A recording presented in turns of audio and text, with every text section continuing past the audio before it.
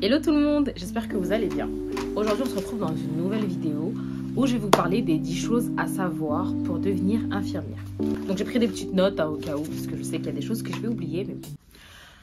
Voilà, donc avant de devenir infirmière, il y a plusieurs points à savoir.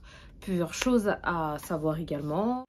Les évolutions, le salaire, les conditions de travail. Je pense que toutes ces choses-là sont à prendre en compte. Ce qui fait qu'il faut se poser pas mal de questions avant de savoir si on veut devenir infirmière. Pour certains, c'est un métier de rêve, effectivement. Il faut être passionné pour le faire, ça je l'entends totalement. Mais il y a beaucoup de choses à prendre en compte à côté. On va commencer tout de suite. Le premier point à prendre en compte, donc c'est la connaissance de soi. C'est-à-dire qu'il faut se connaître personnellement, il faut savoir qui on est, euh, quels sont nos buts euh, dans la vie, quels sont euh, nos projets.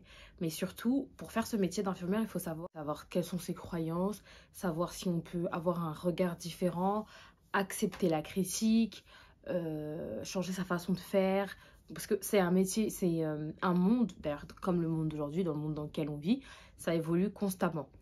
Mais c'est-à-dire qu'il faut savoir, quand on est infirmière, on est confronté, bah, par exemple, à la vue du sang et à plein d'autres choses, bah, pipi, caca. Il faut savoir, un, point super important que pas mal de personnes oublient, c'est être confronté à la mort. Donc, il faut savoir que c'est effectivement, mon premier décès, je me rappelle, mais il y en a plein d'autres qui a eu euh, par la suite, dont je ne me rappelle pas, prendre euh, de la distance et du recul. Donc, la première chose à savoir, comme je disais, c'est la connaissance de soi. Le deuxième point à savoir, c'est qu'il faut être patient. C'est quelque chose que j'ai appris tout au long de mon métier, enfin depuis que j'ai commencé mes études. Donc moi, je suis sur une promotion euh, bah, où je fais mes trois ans comme tout le monde. Donc je suis diplômée depuis 2017, ce qui fait que je suis infirmière depuis 5 ans et demi, donc bientôt 6 ans. Et il faut développer la patience. Donc, en fait, c'est la patience, en fait, on la développe. C'est-à-dire, certaines personnes l'ont. Moi, je l'avais pas spécialement. Je l'avais, on va dire, euh, dans certains cas, mais je l'avais pas spécialement. Désolée. Hein. Mais il faut euh, faire preuve de patience en fait, euh, à toutes ces preuves et tout au long en fait, euh, de, son, de son métier, de sa carrière ou quand on est en service, on est peut-être fatigué ou quoi ou qu'est-ce. Il faut être patient vis-à-vis de ses collègues, il faut être patient vis-à-vis des, bah, des patients de on s'occupe, vis-à-vis des familles, vis-à-vis par exemple bah, des étudiants qu'on peut croiser, qu'on encadre, enfin des choses comme ça. Mais il faut être super patient. Donc la patience, c'est l'un des, des maîtres mots de ce métier. Donc c'est hyper important. Le troisième point, donc, c'est la communication. La communication, on est infirmière, on est amené, bon, c'est-à-dire bah, à s'occuper des, gens, d'êtres humains. On a la vie des gens entre les mains, on s'en rend pas forcément. Certaines personnes vont dire non, c'est pas spécialement vrai. Si c'est très vrai, tu as la vie des gens entre les mains. Il faut savoir que quand tu es infirmière, tu ne travailles pas toute seule. C'est totalement faux. Ça n'existe pas une infirmière qui travaille toute seule.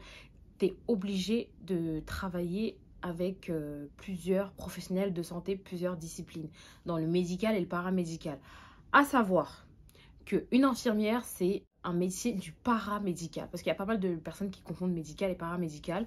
Pour faire simple, euh, moi, pour expliquer la différence, on fait euh, petit aparté. Les métiers du médical, bah, c'est toutes les personnes qui ont fait médecine. Et le métier du paramédical, moi, je, classe les autres dans le paramédical. Et après, le social et compagnie, mais voilà. Donc, je reviens à mon point, la communication. Quand on est infirmière, il faut savoir que tu es amené à travailler avec plusieurs personnes. Les médecins, moi, pour ma part, je travaille dans la fonction publique, ce qui fait que, bah, par exemple, j'ai les médecins, les chefs de service, les internes, les externes. Ensuite, toi-même, dans ton équipe paramédicale, tu as tes collègues infirmiers et infirmières, tu as ta cadre de santé qui est ta supérieure hiérarchique, tu as tes collègues aides-soignantes et tu as aussi euh, euh, parfois des étudiants. Et toutes ces personnes-là, il faut apprendre à communiquer avec eux. Sans compter que tu as également le patient donc, qui est au centre de, tout, de toute cette grosse machine. Donc on est là en fait pour prendre soin des patients, donc du patient ou des patients.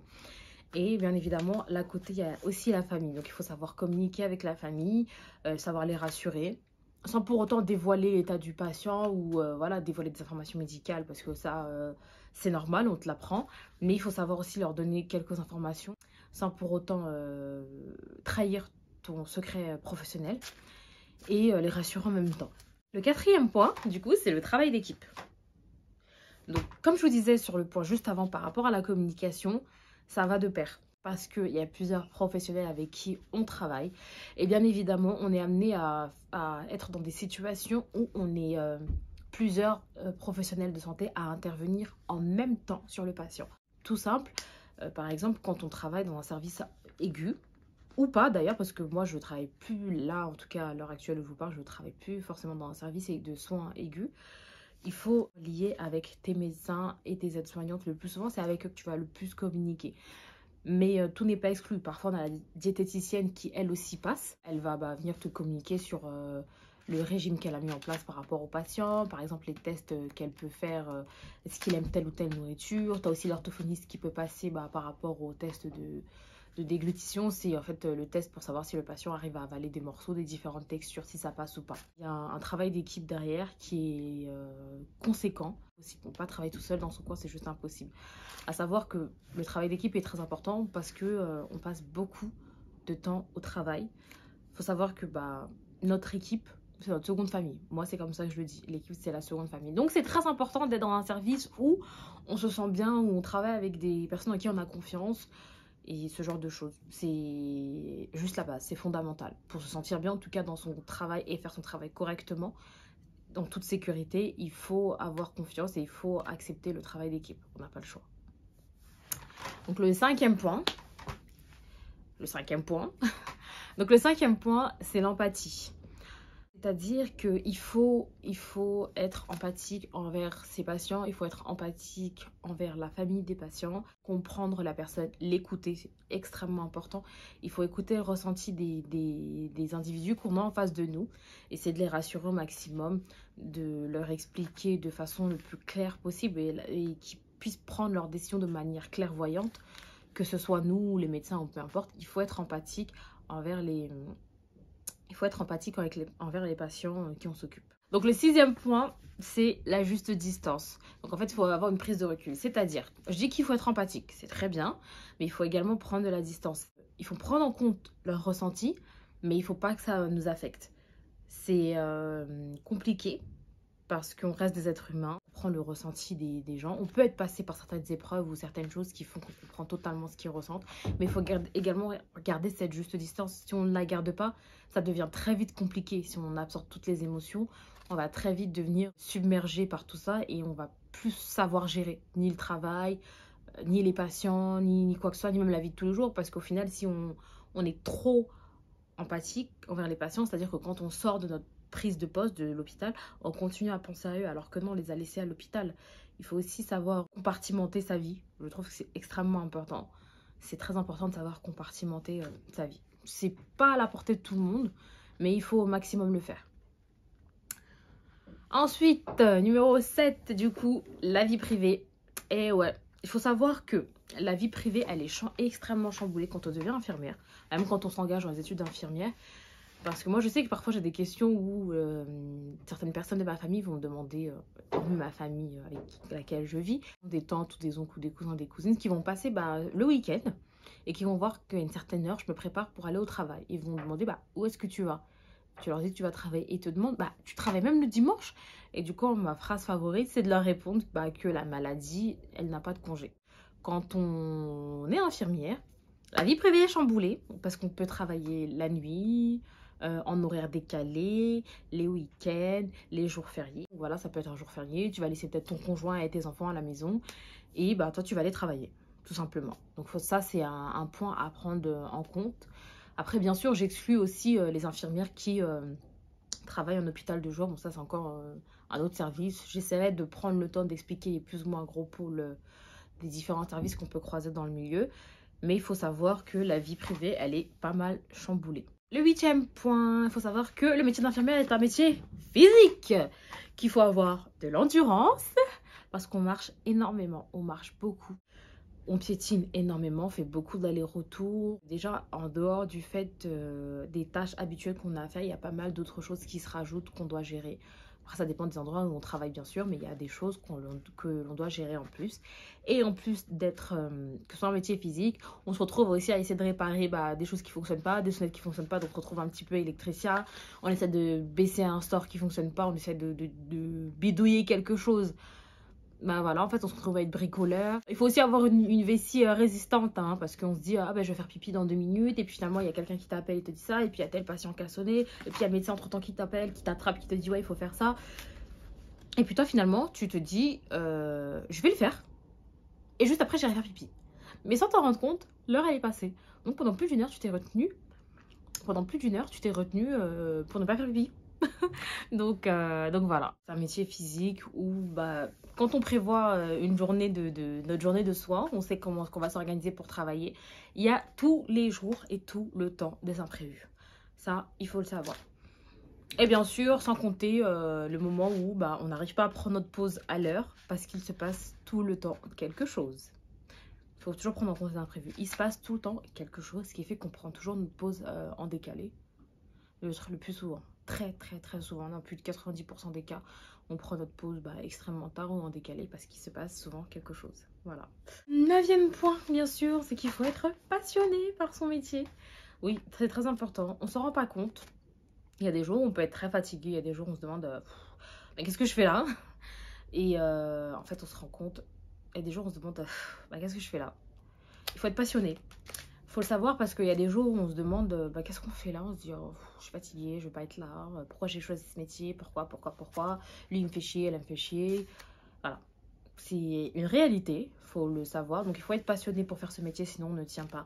Entre euh, tous les passions qu'on croise, la misère sociale, moi en plus je travaille dans un endroit où je ne divulguerai pas, mais j'habite dans un endroit où il y a énormément de misère sociale, excusez-moi.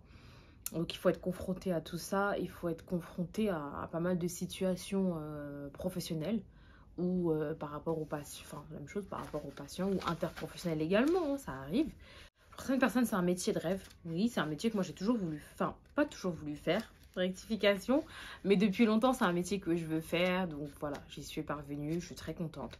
Il faut être passionné parce que bien sûr on ne roule pas sur l'or, hein. il faut savoir que le salaire euh, des infirmiers français est bas, et est vraiment très bas en comparaison à d'autres pays par rapport au niveau de vie. Le salaire des infirmiers français est très bas et très peu euh, valorisé.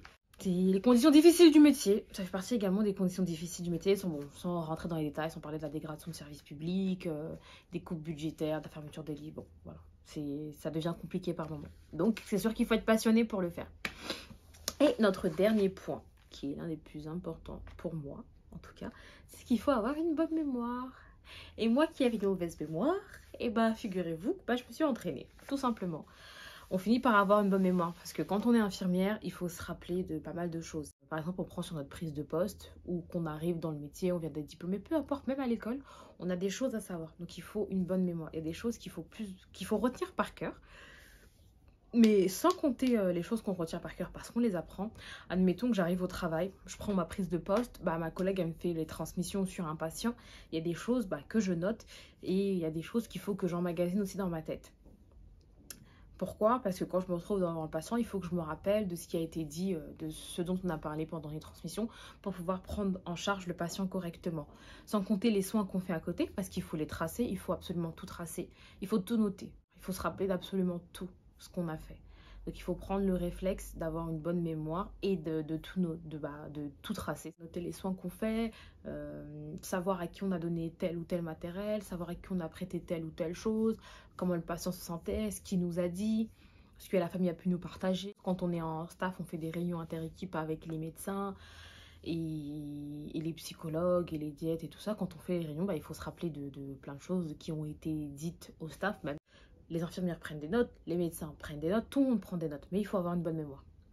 Donc voilà, la fin de cette vidéo, j'espère qu'elle vous aura plu. N'hésitez pas à liker, à la partager, à vous abonner parce qu'elle peut servir à pas mal de personnes. Surtout les personnes qui sortent euh, des études, du lycée, qui savent pas quoi faire. Vu que maintenant, euh, il n'y a plus de concours pour être infirmier, que c'est euh, une admission sur post-bac, savoir au moins dans quoi on s'engage, je pense que c'est hyper important. Et puis euh, voilà, on se dit à la prochaine pour une nouvelle vidéo. Ciao, ciao